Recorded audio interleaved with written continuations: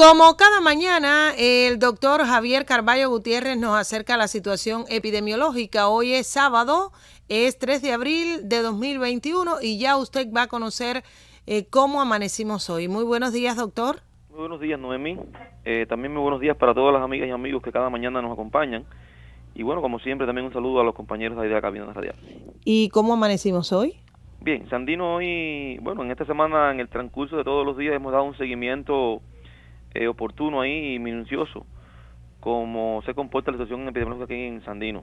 Y bueno, como todos conocemos, en el día de ayer teníamos cinco casos por confirmar y de los cinco casos por confirmar, eh, que eran cuatro de Martí y uno de Babiney, dos de ellos llegaron confirmados al, al, a la enfermedad, a la COVID-19. Y bueno, los otros eh, tres, afortunadamente, vinieron negativos. Ellos son una paciente de 47 años de Martí, que es la, la bodeguera que siempre hemos estado hablando en el transcurso de la semana, y también un señor de 87 años de Eva Vinelles. Son los, los nuevos dos focos que se abrieron acá en, en el territorio.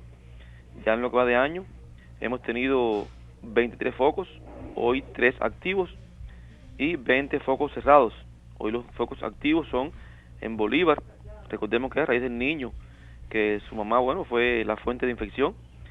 Otro en Babinelle, que es el señor este que estamos hablando en el día de hoy, y uno en Martí. Ya ahí todas las acciones del, de salud están realizadas, todos los pacientes están eh, aislados, todos sus contactos también están aislados en diferentes centros de aislamiento, unos en Pinar por sospechosos, otros acá en el centro de aislamiento Combate Cejas del Negro, acá en, nuestro municipio, y se estudiarían eh, estos pacientes eh, mañana domingo, estudiaríamos los pacientes de Martí y de Babinella, y los pacientes de Bolívar se estudiarían el día lunes, es decir, que ya la próxima semana, si la tendencia que hay en estos días es al control, bueno, ya estaríamos un poco más cerca de la realidad que acontece en Sandino.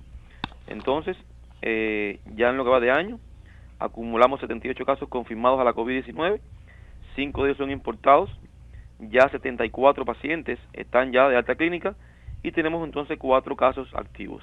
Ayer vino uno de alta, y bueno, se incorporaron dos más. Serían cuatro que tenemos activos hoy en Pinar de Río, todos ellos con tratamiento médico y con buena tendencia clínica. Eh, no tenemos PCR por confirmar, ya todos los PCR se confirmaron el día de ayer, tampoco tenemos resultados pendientes eh, por llegar y tampoco ayer tuvimos test rápidos positivos. Es decir, vamos a ver cómo transcurre este fin de semana con el tema de la enfermedad, siempre y cuando, bueno, tengamos que estar eh, reforzando todas las medidas de bioseguridad que hasta ahora hemos conocido y de distanciamiento social, que es hoy lo que va a ganar la pelea, porque realmente la vacuna está en nuestras manos, no está en otro lugar. Bueno, pues entonces muchísimas gracias, doctor, por esta información dada a toda la audiencia de Marcando la Diferencia. De los cinco casos que estaban por confirmar ayer, dos llegaron positivos a la COVID-19, 23 focos abiertos en lo que va de año, tres hay activos y 20 son cerrados.